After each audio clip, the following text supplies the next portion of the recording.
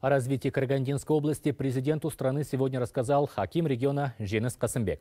В числе задач, которые дал глава государства руководителю области, увеличение темпов роста э, строительства жилья в области, в том числе многодетных семей и поведение противопаводковых мероприятий, чтобы избежать чрезвычайных ситуаций в регионе. Рассказал президенту Женес Касымбек и о перспективах создания туристического кластера и необходимость дорожной инфраструктуры в Улытауском районе, а также модернизации туристической сферы на Балхаше и Каркаролинском районе.